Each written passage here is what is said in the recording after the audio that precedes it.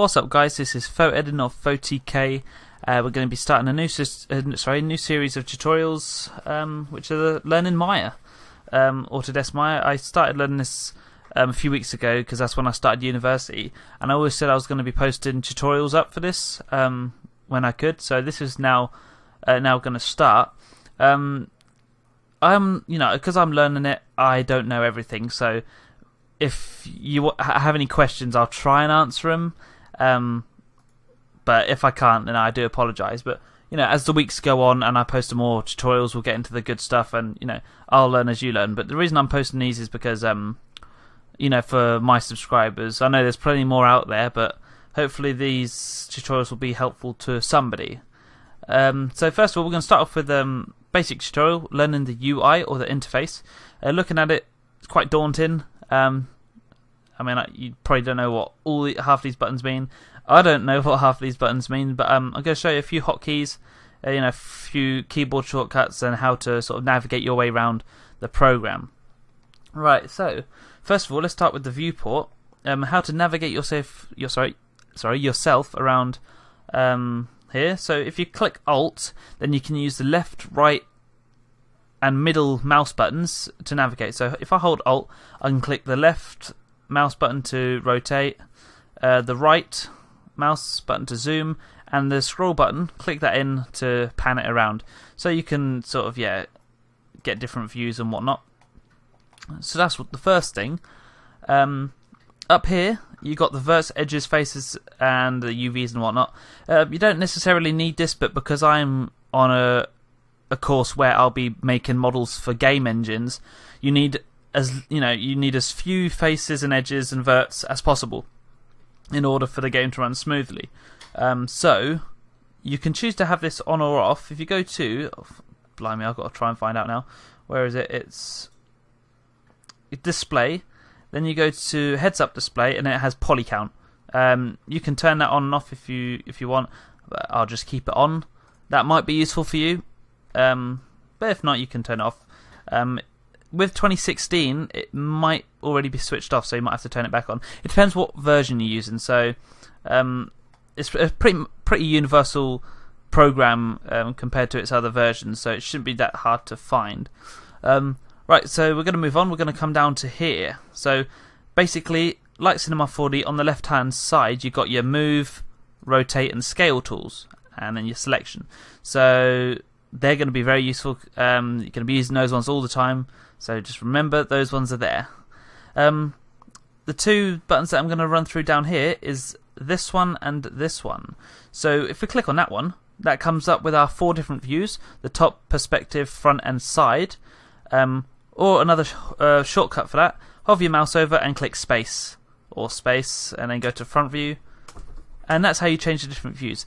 However, if you choose another one of these buttons, the space bar will be activated for that specific button. So if I chose this one and click space, space, space, space, it'll open this one up. So I'd have to go back to the view and then click space. So basically, the space bar activates the uh, you know the previously pressed buttons uh, on this side only in this area.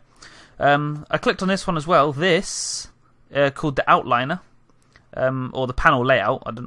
At the bottom here, it has you know, it names what the button is. I mean, it has outliner down there, but then it has panel layout in the big yellow box. And basically, everything that's in your scene will be listed here. So this is very important as well. So if you want to group stuff together, keep your project nice and tidy. And I'd advise that because um, saves you a lot of time. So I can click space. Oops, that's not right. There we go. Click space, um, and then we can carry on moving around. So obviously at the bottom we've got the timeline um, and the play button. We're not going to run into that, but that's just where it is.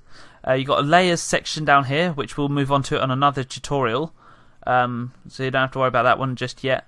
And then here is where you have all your attributes. So if I now import a cube, so as you probably would have already guessed, it's quite simple. These are your base models, so your sphere cube. All you have to do is click on it and it's imported. And as you can see on the right, we can bump the scale up to 10. Oops. There you go. Uh, maybe rotate it 45 degrees there. Um, add some segments, so I'll add 10 on each side. There you go. So that's. Um, sorry, you have to collect, uh, select the object in order for these to show up, and then you can move it around. Uh, oops, scale it further if you want to do it by hand, rotate it, and all that kind of good stuff. So delete that now. That shows our object panel. I don't know what really what to call it, but you know, you kind of guess what I mean. Um, and make sure you're on modeling as well. You got a drop down menu here, and you got rigging animation. If you're using a previous version, it might be polygons instead of modeling. Um, so you just want to stick to modeling because if you change them, you get different tabs up here. So there's lots and lots of buttons involved in Maya, but you probably won't use half of them, so you wouldn't have to worry as much. Um, and then say I had a, a cube in here. The buttons just below it, the small ones down here. These are basically the view, the viewport. Now I've already got that selected. This is what would be standard. This is what you would see. Now I like to activate the wireframe, which is this button here, and that basically gives a clear outline of the edges. Um, I'll show you something maybe a bit later. Quickly open up a scene that I'm working on. Um, it's just easier to see your detail. Um, and then again, you can click this button here, which is the two squares overlapping each other. That's basically a 50% opacity, um, so you can sort of see through things, um, but sort of you still get your your depth for your for your cube. Um, it depends really what you want to use it for, though, but might just be handy to know. Um, and then at the top, if you're say modeling, you get all your tools here, so all your insert edge loops, and if you're familiar with uh, familiar with modeling, these are the ones you'll be using. Um, but we'll get onto that another tutorial. We'll go into these in a bit more detail when I come to the modeling tutorial. Um, and then you got some more here, and an edit mesh, so you can merge things, extrude things. Um, the rest of it you won't really need to worry about. But if you want to just get to know Maya, start off with a few cubes, start playing around with it, modeling some little stuff, just from what you can make out yourself. Um, get a feel for the program. And another thing that may help you is at the top right. I think this is new to Cine- uh, Cinema 4D. Sorry, Maya 2016. Um, you got these buttons up here. If you want to click on the very left, this comes up with a very handy modeling toolkit. So if I want to grab this, I want to grab the point and line tool and the face tool. These ones are very important. So where in Cinema 4D they'd be usually down here, they are now in this modeling toolkit. And then you can grab a face, you know, grab the lines, hold shift, grab two lines, and then bring it out. Some, you know, stuff like that. Oops, wrong one. Control Z. Um, have a little play around with it, guys. Um, if you want to start learning, just start off small. You know, obviously don't jump into anything big because you will come across problems. But um, you you don't want to get filled with problems straight away. You want to gradually get into it and just deal with problems one by one, um, and that's how you would learn. Uh, you can click drag tool, so then you can just like click and hold, and then select multiple edges, um, and then you got all obviously like you click the face tool, you can extrude it, move it up and out, stuff like that. Um, and then bevel it at the end. So yeah, have a little play around, guys. That's as much as I'm going to do at the minute um, for this tutorial. It's just getting used to the interface. I've shown you where the key areas are for getting started. Have a little play around, and I think the next tutorial we're going to come into the modeling basics. So peace out, guys.